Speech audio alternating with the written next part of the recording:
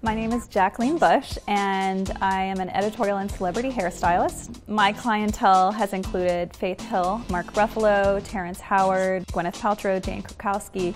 I want to be able to show you that hair isn't as intimidating or as hard as you think it is, and I want you to be able to have fun with it and do what your vision is with your hair. So now Monica and I are going to show you how to make a fishtail braid. First thing I'm going to do is you noticed I already gave her a little bit of a side part and I'm just going to pull all this hair over. So everything is completely off her left shoulder. It's all here on the right. So we have our two sections of hair, both on one side. The first section, we'll call this section number one. This section's going to be number two. So we're going to start with section one and I'm going to take a small piece of hair from the outer and underside of section one, and I'm going to cross it over to section two. So now we still have two sections of hair. Then I'm going to take a small section of hair from section two underneath, slightly to the outer corner. I'm going to cross that over to our first section. Now your braid might be a little loose, so you just want to pull it a little tighter. And now we're going to do the same thing.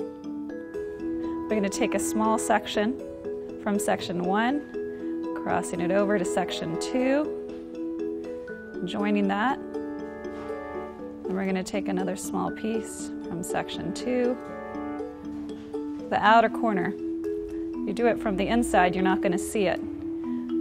Cross it back over. We're just going to keep going down the hair like that.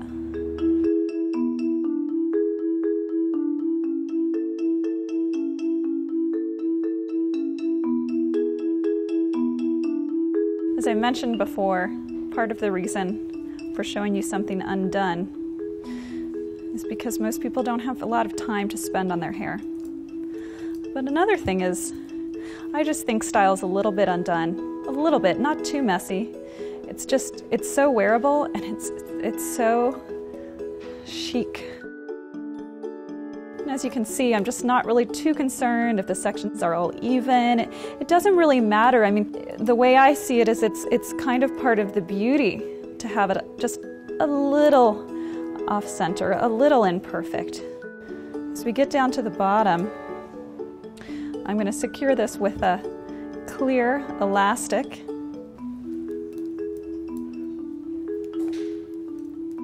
You guys can see a little bit of her hair is left out. This is the key to having it look effortlessly undone in the good way and not actually sloppy.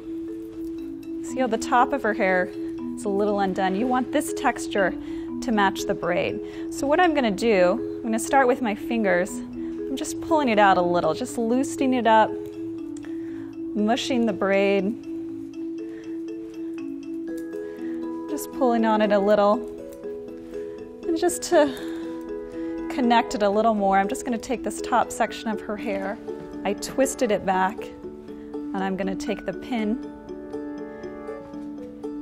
bobby pin, and just twist it back and just hold it there. Now I'm going to take a comb and just tease it out a little more. And that's how you get a fishtail braid.